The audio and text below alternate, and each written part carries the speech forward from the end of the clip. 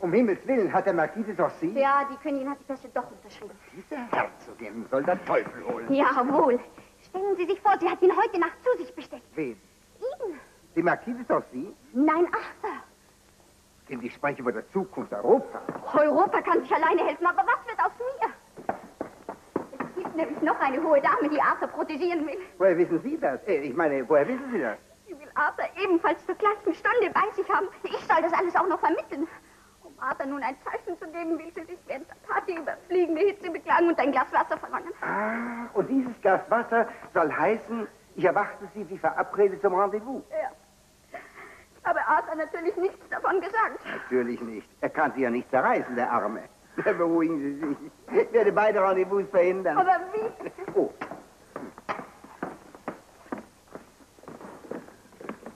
Mein Glückwunsch, Herzogin. Wofür, Miller? Der Marquis wird die Pässe erhalten, wie ich höre. Das ist eine respektable Leistung, die Anerkennung verdient. Sie sind charmant. Ich würde es trotzdem begrüßen, wenn der Marquis vor seiner Abreise Gelegenheit hätte, Ihrer Majestät vorgestellt zu werden. So, würden Sie das? Ich verlange eine solche Gefälligkeit natürlich nicht ohne Gegenleistung. Was könnten Sie für mich tun, Miller? Ich könnte Ihnen zum Beispiel eine Information geben. Die für mich angenehm und nützlich wäre? Nee, angenehm nicht. Nützlich vielleicht. Sie haben eine Rivalin. Wie meinen Sie das? Eine weitere hohe Dame hat es auf den kleinen Captain abgesehen. Nein, Ich habe Beweise. Ich kenne Stunde, Ort und Zeichen des Rendezvous. das kann nicht wahr sein. So wahr wie die Tatsache, dass Sie selbst ihn zur nämlichen Stunde erwarten. Oh Gott. Was man offensichtlich verhindern will. Leben Sie wohl, Milady? Sie kennen Stunde, Ort und Zeichen des Rendezvous. Wann, wo, wie?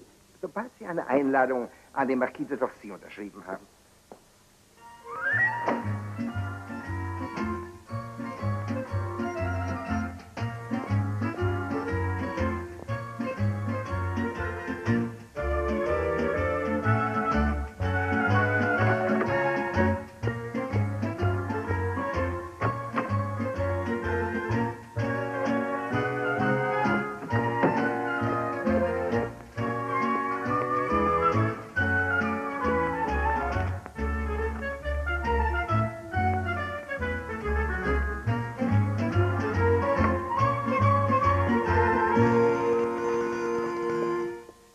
Auf dem schnellsten Weg an den Marquis de Torcy. Wer ist die Dame? Ich weiß es nicht, aber wir werden es bald wissen. Wenn sie sich von der Party freimachen kann, wird sie Meschem ein Zeichen geben. Was für ein Zeichen? Sie wird ihn um ein Glas Wasser bitten. Um ein Glas Wasser? Um ein Glas Wasser. Vor den Augen der Königin? Sozusagen. Diese Dame wird an diese Party denken. Sie denkt bereits dran.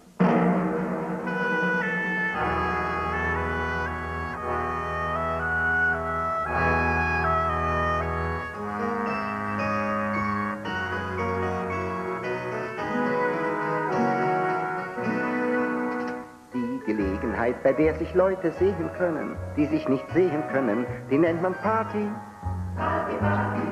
Und die Verlegenheit, bei die sich gerne sehen müssen und dabei stehen müssen, gehört zur Party. Ein Sandwich rechts und links ein Glasen wieder lächzt nach einem Spaß, den kenne ich schon, kennen Sie den, der einem hilft, die Party durchzustehen. Und die Blödigkeit, mit der sie alte Scherze machen und nicht mal selber lachen, gehört zur Party. Und die Schnödigkeit, mit der sie still ihr Gift verspritzen und selbst im Glas auch sitzen, gehört zur Party. Ein bisschen Tratsch, ein bisschen Klatsch, man lächelt bös und maliziös, das Kind von dem ist nicht von ihm, sie ist mit irgendwem viel mehr intim. Die Geselligkeit, bei der sich Leute Schmeichler nennen, weil sie sich Heuchler kennen, die nennt man Party. Und die Schnelligkeit, mit der sie, wenn sie sich erkennen, sich höflich grinsend trennen, gehört zur Party. Man steht herum, man lächelt dumm, man leidet stumm und denkt, warum, how nice, sie wieder mal zu sehen. Und man beschließt, nie wieder hinzugehen. Doch die Notwendigkeit, dass sich die Leute sehen müssen und darum gehen zu müssen, die macht die Party. Und die Beständigkeit, mit der wir Dummes sagen können und uns ertragen können, die macht die Party, macht die Party. Ich weiß von gut unterrichteter Seite, dass alle Verhandlungen mit Frankreich abgebrochen sind. Schrecklich. Sind Sie sicher? Absolut. Der Marquis reist morgen ab, ohne die Königin überhaupt gesehen zu haben. Marquis de Torcy, Gesandter Frankreichs.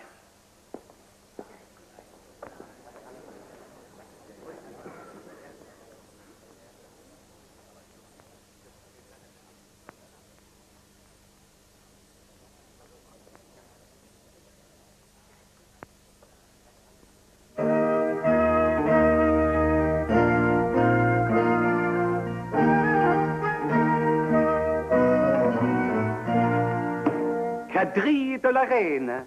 Engagement.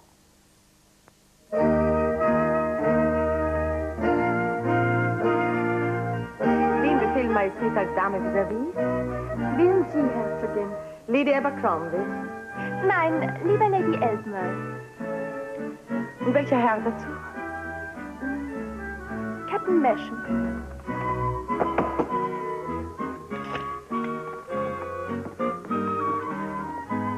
Partner, Majestät?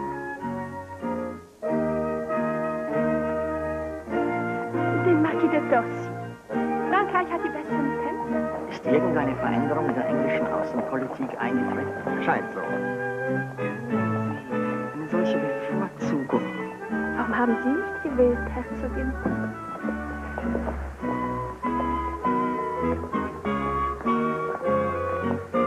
Machen Sie mir die Freude, Herzogin. Ich würde sie Ihnen machen.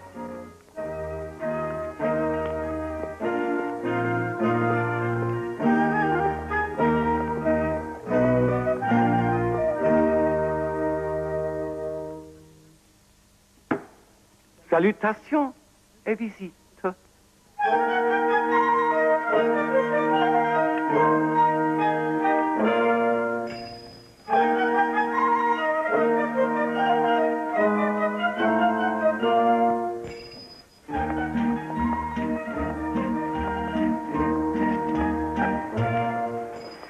Sind sehr großzügig, Herzogin. Das ist mehr, als ich verlangt habe. Und mehr, als ich bewilligt habe.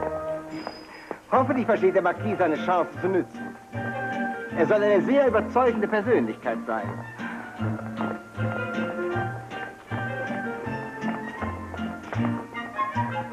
Sie haben recht, Marquis. Es ist wirklich eine bedrückende Hitze im Saal. Ja, als ob ein Gewitter bevorstünde. Ungewöhnlich für das Land des Nebels, Madame.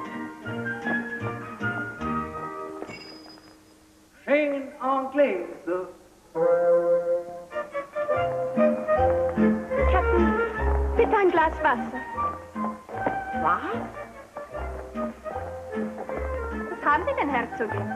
Das kann doch nicht wahr sein, dass Majestät sich so weit vergessen. Herzogin,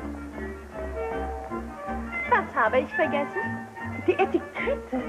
Nur eine Dame darf der Königin einen solchen Dienst erweisen. Ach, deshalb das Aufsehen.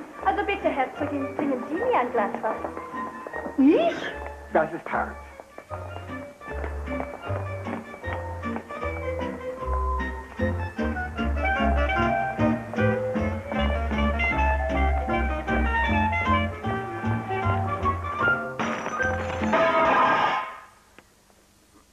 Sie sind von einer peinlichen Ungeschicklichkeit, So haben Majestät noch nie mit mir gesprochen. weil ich immer viel zu nachsichtig mit Ihnen bin. Das nach all den Diensten, die ich der Krone geleistet habe. Es langweilt mich, Sie mir vorwerfen zu lassen. Ich will mich Eurer Majestät nicht länger aufdrängen. Ich biete meine Demission an. Ich nehme Sie an. Sie nehmen sie... An, Herzogin, ich nehme Sie an. Monsieur Dame? Geben Sie auf. Ich denke nicht dran. Majestät, ich halte es für notwendig, Ihnen mitzuteilen, dass der Mörder Richard Bollingpost entdeckt wurde. Tun Sie endlich Ihre Pflicht und verhaften Sie Captain Arthur Masham. Masham, ist das wahr? Es ist wahr, Majestät. Noch sind wir nicht am Ende.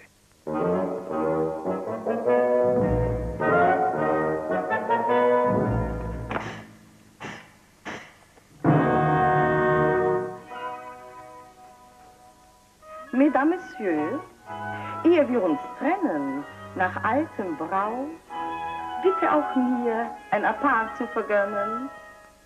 Denn was andere können, das kann ich auch. Das Sprichwort sagt, wer wagt, gewinnt. Wer ohne Mut das Spiel beginnt, der fällt gewöhnlich dabei ein. Pech. Es steht zwar die Erfahrung fest, dass alles sich erreichen Man muss dazu nur eines sein, frech. Wer fragt schon, was dahinter steckt? Wer Glück hat, ist in Mode. Man sieht nur auf den Nutzeffekt und nicht auf die Methode.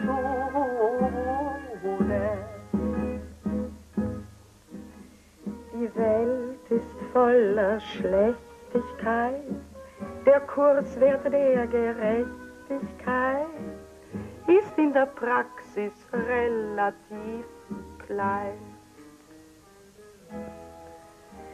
Doch manchmal, wenn man unbedacht Bilanz in seiner Seele macht, fragt man sich doch, war dein Benehmen fein?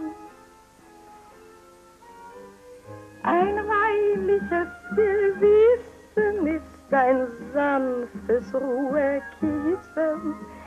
Wie schön, wenn du moralisch bist, doch keiner will es wissen.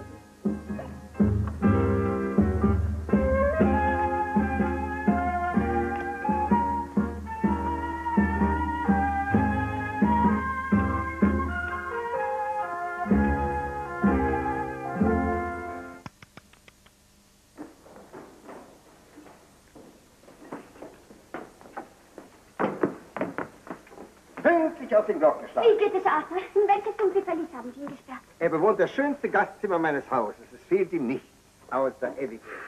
Und niemand wird ihm etwas tun? Niemand, wenn wir die Partie gewinnen. Und sie steht gut. Die Herzogin ist in Ungnade, die Majorität erschüttert, die Opposition im Anmarsch und ich werde Minister. Sie waren nie weiter von Ihrem Ziel entfernt als jetzt. Was soll das heißen? Als ich heute Morgen zur Königin lief, ich wollte um Gnade für Arthur bitten, fand ich eine Abordnung der Marlborough-Partei bei der Königin. Ihre Majestät waren ängstlich und unentschlossen Wie leider immer. und wurde getuschelt. Die Königin sah mich flehend an, ich konnte natürlich nichts tun. Und? Die Abordnung ging als Siegerin. Ihre Majestät sind bereit, der Herzogin zu verzeihen. Ich muss sofort zur Königin. Der Beichtvater ist bei ihr. Ah, was kann sie schon zu beichten haben? Warum kommt eigentlich der junge Vater nicht mehr zur Beichte? Er bat um seine Versetzung.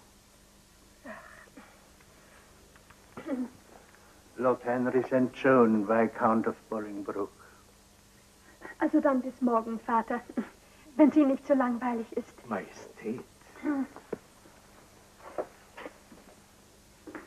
Henry, bitte fassen Sie sich kurz, ich bin nervös. Majestät wollen sich wirklich mit der Herzogin versöhnen? Was bleibt mir dann anderes übrig? Sie sind doch selber immer für den Frieden. Außerdem hat man der armen Person Unrecht getan. Sie besonders. Ich spreche nicht von Bouchin und den Rüstungskrediten, das habe ich noch nicht nachgeprüft. Aber was den jungen Meschen angeht, da waren Sie im Irrtum. Im Irrtum? Ja. Die Herzogin kann gar nicht in Meschen verliebt sein. Sie hat etwas mit Lord Avondale. Und das glauben Sie ist ein Beweis? Ja, natürlich. Außerdem würde sie Meschen sonst gestern Abend verraten haben. Verraten und verhaften lassen? Und wenn das aus Eifersucht geschehen wäre? Die Herzogin, vermute ich, scheint herausgefunden zu haben, dass Meschem gestern Abend nach der Party ein Rendezvous mit einer anderen Dame hatte. Oh Gott. Man weiß noch nicht mit wem.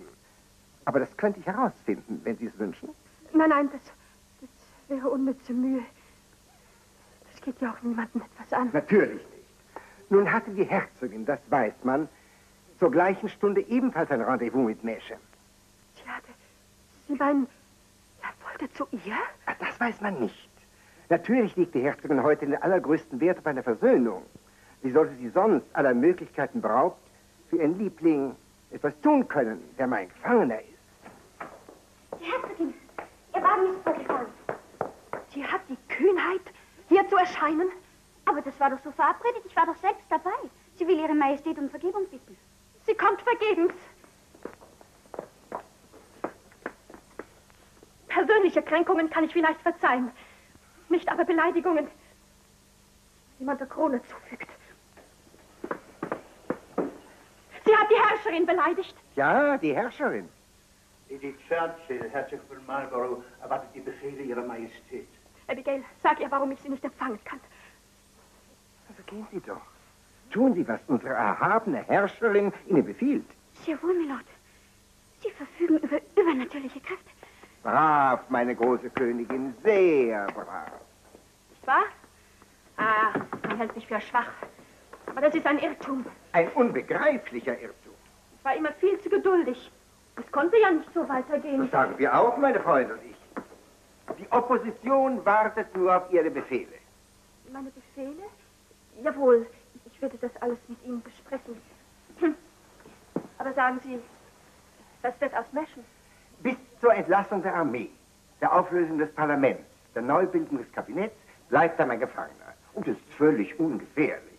Wenn dann der Marschall abberufen ist, Ich werde ihn vor ein Kriegsgericht stellen. jawohl, das hat der Marschall verdient.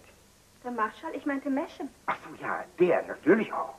Er soll hart, aber gerecht bestraft werden. Oh, Majestät, glauben Sie mir. Hart bleiben, Lord Henry. Er hat sie immerhin Ihres geliebten Vetters. Ja, das hat er. Und die Herzogin wird wütend sein. Im Gegenteil, sie wird sich freuen.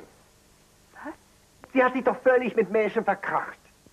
Weiß ich ja gar nicht. Nie weiß ich etwas. Darum sage ich Ihnen ja, Kindchen. Majestät, die Herzogin hat herausgefunden, dass Mädchen sie gar nicht liebt, dass sie sie nie geliebt hat. Er liebt eine andere. Wer hat Ihnen das gesagt? Er selber, mein hübscher Gefangener, hat mir gesagt, dass es am Hofe eine wichtige Persönlichkeit gibt. Sie soll sehr reizvoll sein, die er anbetet. Ja. ja.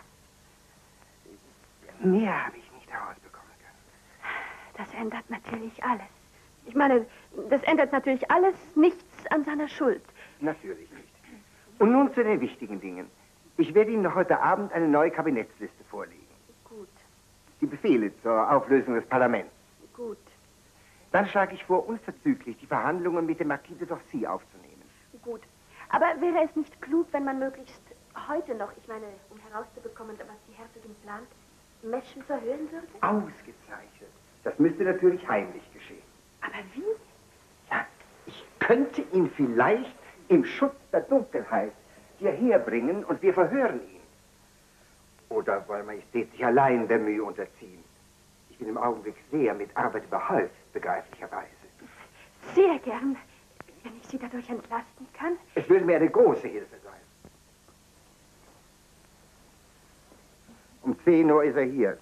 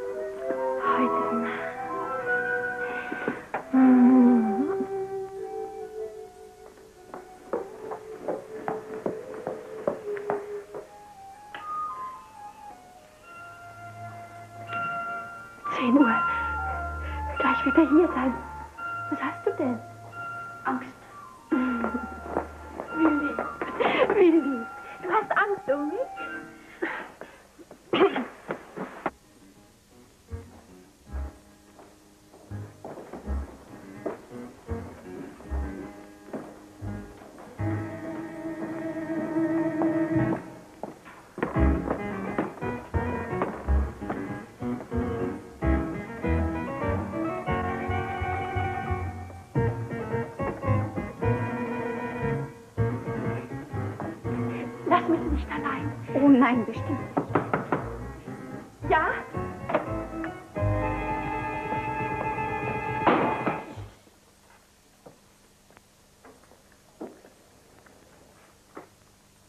Lord Henry schickt mich Ihrer Majestät, diese Schriftsätze zu überreichen. Er wollte sie nur mir anvertrauen, sagt er, dass sie von äußerster Wichtigkeit seien.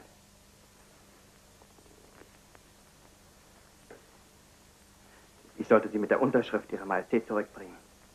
Ja, ja, natürlich.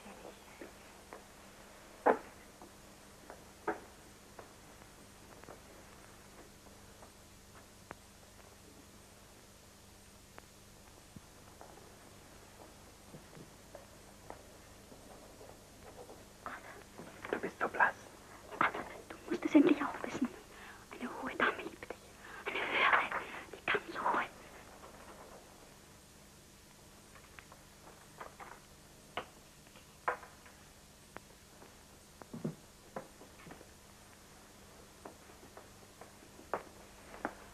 Ich danke Ihnen, Majestät. In wenigen Minuten wird Lord Henry wissen, dass er Minister ist. Wie? Wie edel von ihm. Äh, denn seine erste Amtshandlung wird sein, dem Gegner seines geliebten Vetters den Prozess zu machen. Ich fürchte nichts, Majestät. Lord Henry weiß um die Zusammenhänge. freut mich, dass Ihnen keine Gefahr droht, Meschen. Majestät sind zu gütig. Stehen Sie doch bequem.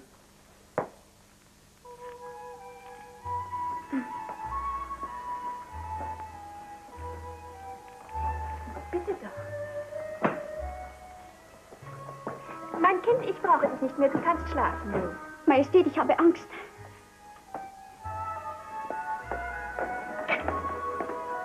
Ich werde vor der Tür warten, auf alle Fälle.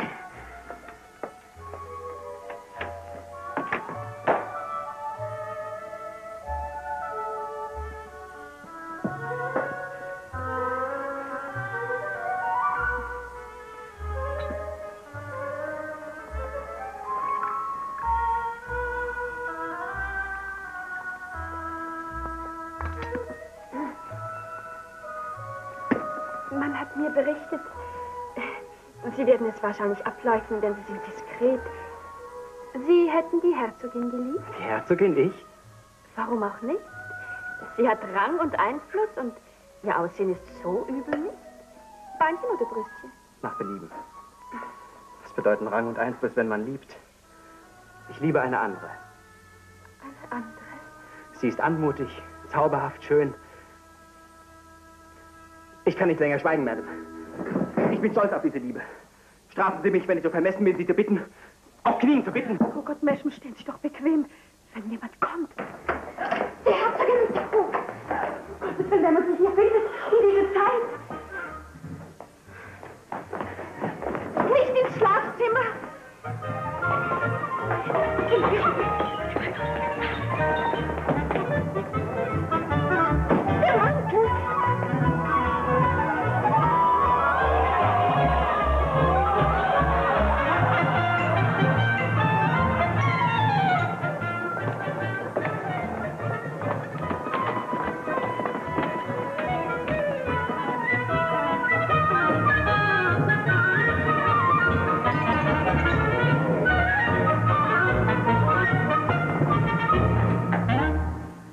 Wer wagt es zu so später Stunde, in meine Privaträume einzudringen? Majestät werden mir verzeihen, aber ich erfuhr soeben aus dem Hauptquartier, dass unsere Verbündeten in Frankreich vernichtend geschlagen wurden. Die Nachricht ist bereits ins Volk gedrungen. Es will eine Erklärung. Majestät müssen sich auf dem Balkon zeigen und eine Abordnung empfangen. Öffnen Sie unserer erhabenen Majestät. Mäschen! In den privaten Räumen der Königin Nacht? Gnade, Majestät, Gnade! Er kam zu mir heute. Sie wagen zu behaupten... Es ist die Wahrheit, Majestät. Wir lieben uns. Strafen Sie uns, wenn Liebe Strafe verdient. Ich habe eine Erklärung abzugeben. Wie kommt es, Milord, dass ein gefährlicher Gefangener, der Ihrer Aufsicht unterstellt ist, sich so frei bewegen kann? Majestät und Sie alle sollen den Grund sofort erfahren. Captain Arthur Meschen hat mich auf sein Wort als Offizier gebeten, vor seiner Verurteilung Abschied nehmen zu dürfen von Abigail Churchill, seiner Frau. Seiner Frau? Seine Frau. Seiner Frau. Monsieur Dame, einen Augenblick.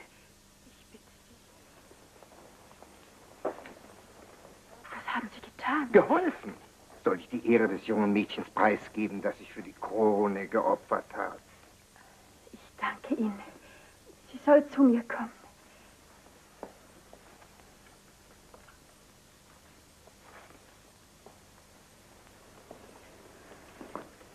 Abigail, es muss sein. Majestät, Widersprich mir nicht. Bitte gib mir auch noch diesen größten Beweis deiner Zuneigung. ach, wenn Sie wissen. Majestät weiß. Majestät weiß alles. Weigern Sie sich, aber nicht so heftig. Was Sie betrifft, Meschem, ich weiß, dass andere Gedanken, höhere Träume ihr Herz bewegen. Aber Ihre Königin bittet Sie, Madame- sie befiehlt es Ihnen, Meschem. Stehen Sie doch bequem. Adieu.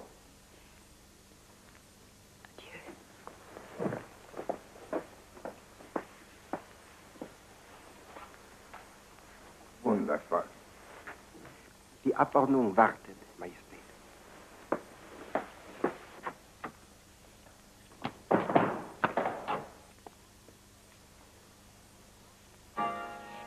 ernsten Ereignisse der letzten Tage und die Nachrichten, die wir soeben erhielten, beschleunigen die Maßnahmen, die wir seit langem erwägen.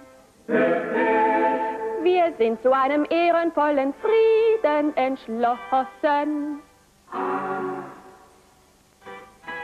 Das Parlament wird aufgelöst. Lord Henry St. John, Viscount of Bolingbroke, mit der Bildung eines neuen Kabinetts beauftragt. Marschall von Marlborough wird mit sofortiger Wirkung all seine Ämter enthoben. Dem verdient seinen Lohn, den Lohn. Und er geht in Pension. Pension, Pension. Alles Geld für den Frieden, alles Glück für euch beide. Und ich bin Minister. Gott schütze den Thron. Alles Geld für den Frieden, alles Glück für die beiden. Und er ist Minister. Gott schütze den Thron. Ein Glas Wasser.